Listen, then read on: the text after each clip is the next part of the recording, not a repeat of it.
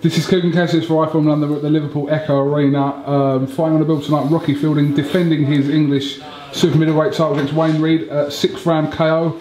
You must be ecstatic with that. Yeah, I am over the moon to be honest with you, Coogan. You know, you know coming from small little shows, uh, stepping out into arenas like that, you know, 8,000 people are shouting my name.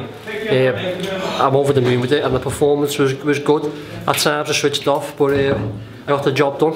Was he tough in there? He looked, looked a tough opponent for you. Yeah, yeah, he was tough. You know, I caught in the first round or second round, a few shots, and you know we took them and that, and recovered well. Uh, but then a Fabio Rage and that, and uh, eh, yeah, he was a tough lad. you know, got the shots off and he paid for them. Did you feel like the fight could have been stopped before before the eventual KO? Um, eh, at times I thought I thought it was. Um, I was catching a good shot and he seemed to, to, to take the ball love to take nothing away for me, come, come prepared. You know, I think it was the best in shape he, he's been. He's come and give me a go. And uh, I'm happy. What's the next few now then? You must have one eye on that British title. Yeah, yeah I've got my eye on it. Uh, but, you know, I've only, I just, as I said earlier in the interviews, you know, I've never picked a weight up in my life. The last three months of work with this fella, Paul O'Donnell, here, uh, from Sailor Station. Um, and without him for the last three months, you know, the shots are pulling off there, the power, uh, eh, I'm finding my power. I'm finding... Oh.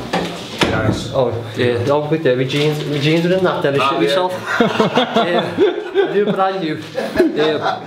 hooked up with Paul three months ago and he's working with me on my power um, and I felt the shots were strong there and you know of course the body shots them tell me to open up on the body touch down the stairs both whipped them in and I did, and that's what happened. Um, but, answer your go question about the Blizzard title, you know, Paul Smith for Troy Dodson are fighting for it next, you know, I'm happy just to get back out now there, you know, let's see who the winners are of them, you know, and there's a fight there, but, you know, I just want to defend this again, keep learning, keep getting out there fighting, and if it comes off, it comes off.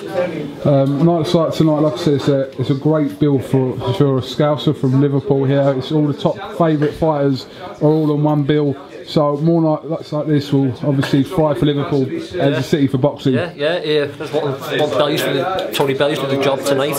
You know, he, win, he, win, he wins that. Yeah, it'll be different. If he wins the wins today, you know, we get Chad Dawson over here.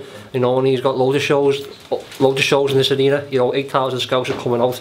So I looked, I the 8,000 tickets. I've got a great fan base. Hopefully the performance now, I get more joining on and probably go go from there. But I'm happy with the performance. And uh, need a fucking drink. You don't stop fucking talking now. It's brilliant. Shy Rocky, when I first interviewed you, now you will not shut up. It's brilliant. More of it. Yeah, Gradu- Listen, congratulations. Thanks a lot, And uh, onwards and upwards. I'd yeah. like to see you get a shot at that breach title, whether it be Paul Smith or Tony Dodson. Yeah, I'd like to see you get a shot at that. Yeah, thanks, Cougars. Right, like Phil London. we feel the stuff. That's it. Kevin Cassius, Rocky Fielding, iPhone London. Thank you very much. Thank you. Nice one.